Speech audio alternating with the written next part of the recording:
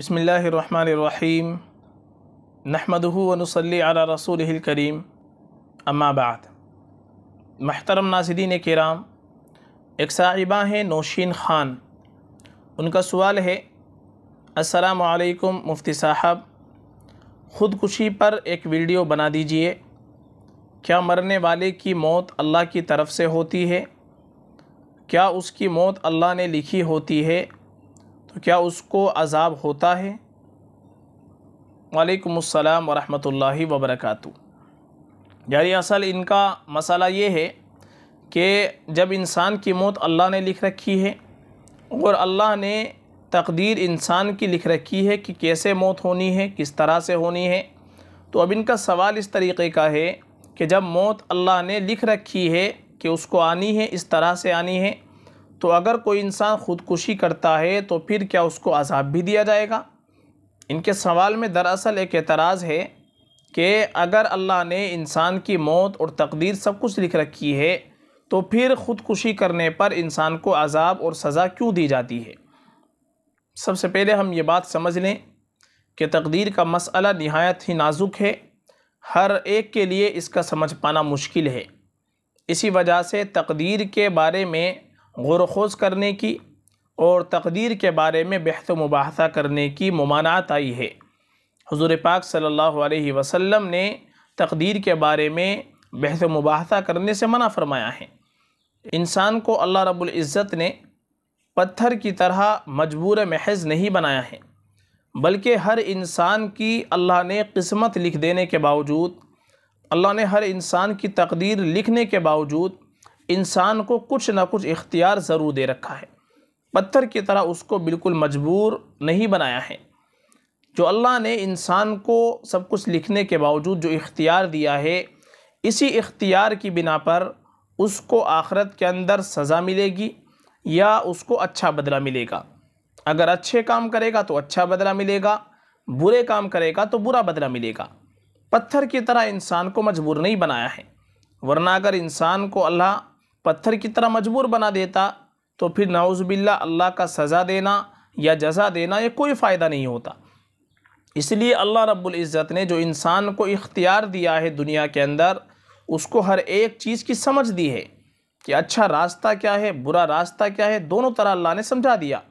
फ़ालहमहा फ़जूरहा व तकवाहा।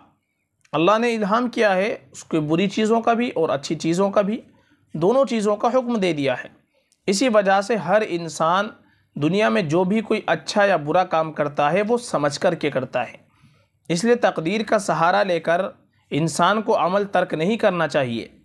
हुजूर पाक सल्लल्लाहु अलैहि वसल्लम ने जब सहाबा के सामने तकदीर की हकीकत को बयान किया तो सहाबा ने अल्लाह के नबी से फ़रमाया कि, या रसूल अल्लाह क्या हम अमल करना छोड़ दें? तो आप सल्लल्लाहु अलैहि वसल्लम ने फ़रमाया कि, नहीं, अमल करना मत छोड़ो। बल्कि अमल करते रहो। इसलिए कि अल्लाह ने हर इंसान के लिए उस चीज़ को आसान कर दिया है जिसके लिए वो पैदा किया गया है।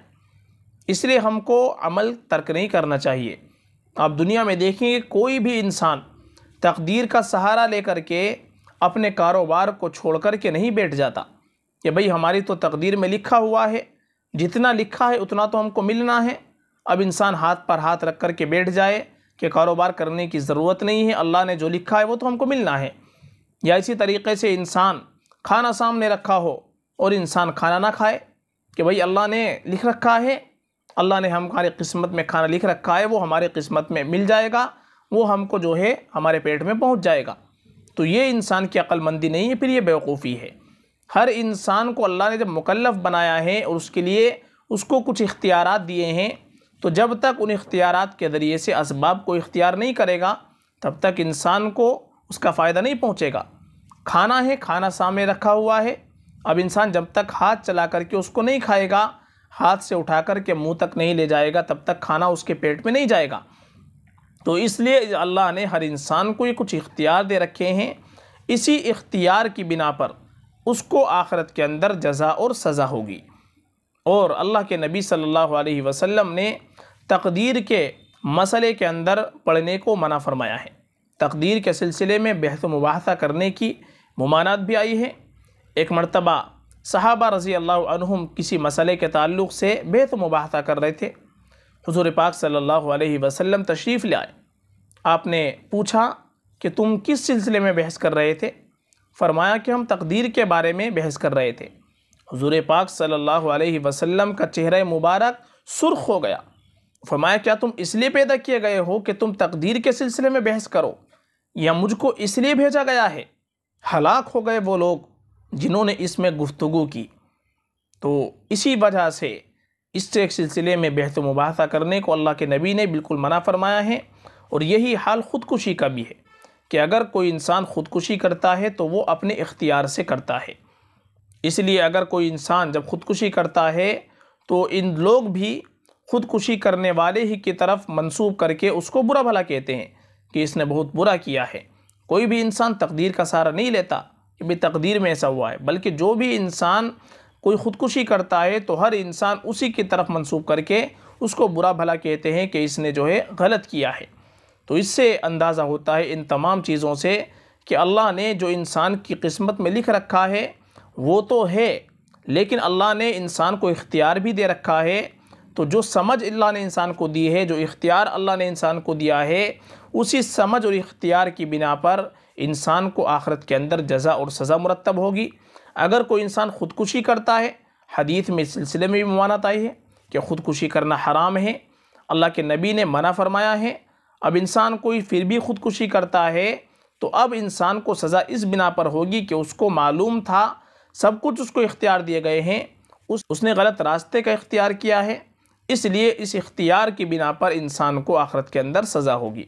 तो तकदीर पर ईमान लाना फ़र्ज़ है, ये नस कती से साबित है। हर इंसान को तकदीर पर ईमान लाना ज़रूरी है, फ़र्ज़ है।